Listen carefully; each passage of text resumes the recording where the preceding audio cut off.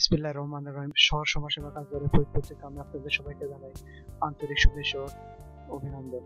আজকে আমি দেখাবো এক্সেস কীভাবে লেখার অ্যালাইনমেন্ট ঠিক করতে হয়। তো আমি এখানে অ্যালাইনমেন্ট অ্যালাইনমেন্ট টেবিল নামে একটা টেবিল ক্রিয়েট করছিলাম।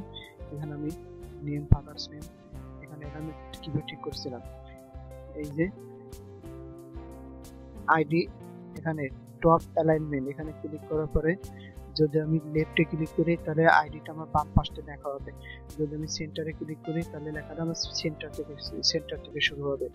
আবার নেম নেমটাকে নেমটাকে অ্যালাইনমেন্ট টপ অ্যালাইনমেন্ট টপ অ্যালাইনমেন্টে ক্লিক করার পরে যদি আমি এখান থেকে রাইট সাইডে ক্লিক করি, তাহলে নামটা আমার ডান পাশ থেকে শুরু হবে।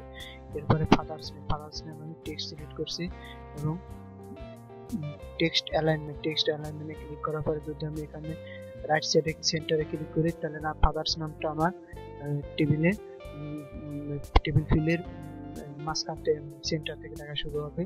অনুরূপে মাদার্স নেম মাদার্স নেমও আমি রাইট সাইডে অ্যালাইনমেন্ট দিয়েছিলাম রাইট সাইড দিয়েছিলাম।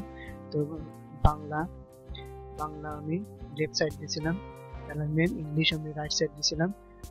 ম্যাথ ম্যাথ ম্যাথের অ্যালাইনমেন্ট এই যে টেক্সট অ্যালাইনমেন্ট টেক্সট অ্যালাইনমেন্ট এখান থেকে এখান থেকে আমি সেন্টারে ক্লিক করছিলাম টেক্সট অ্যালাইনমেন্ট সেন্টারে ক্লিক করছিলাম এবং ফিজিক্স ফিজিক্স আমি নাম্বার সিলেক্ট করার পরে এখান থেকে আমি টেক্সট অ্যালাইনমেন্ট আমি এটাকে লেফট করে দিই।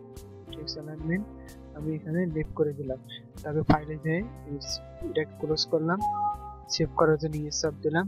ইয়ে সাব দেওয়ার পরে এখন আমি যে অ্যালাইনমেন্ট সাজিয়েছিলাম আমার নেমটা বাম পাশ থেকে লেখা শুরু হবে। নেমে যা লিখব নামটা। রাইট সাইডে লেখা শুরু হবে। ফাদার্স নেমটা শুরু হবে ডান সেন্টার পজিশন থেকে। মাদার্স নেমটা রাইট সাইড থেকে। এবং বাংলা মার্কটা এটা শুরু হবে লেফট সাইড থেকে। ইংলিশও রাইট সাইড থেকে। ম্যাথ ম্যাথ শুরু হবে সেন্টার সাইড থেকে। ফিজিক্স শুরু হবে লেফট সাইড থেকে। এভাবে আমি অ্যালাইনমেন্ট যেটা সাজাইছিলাম, আমার ফিল লেখার ফিলগুলো ওই অ্যালাইনমেন্ট অনুযায়ী লেখাটা শুরু হবে। এই ছিল আজকের কীভাবে টেক্সট কীভাবে এক্সেসে অ্যালাইনমেন্ট ঠিক করতে হয়। এই ছিল আজকের ভিডিওটা। তো আশা করি ভিডিওটা সবাই ভালোভাবে বুঝতে পারছেন। দেখা হবে নতুন কোনো ভিডিও টিউটোরিয়াল নিয়ে, সে পর্যন্ত সবাই ভালো থাকবে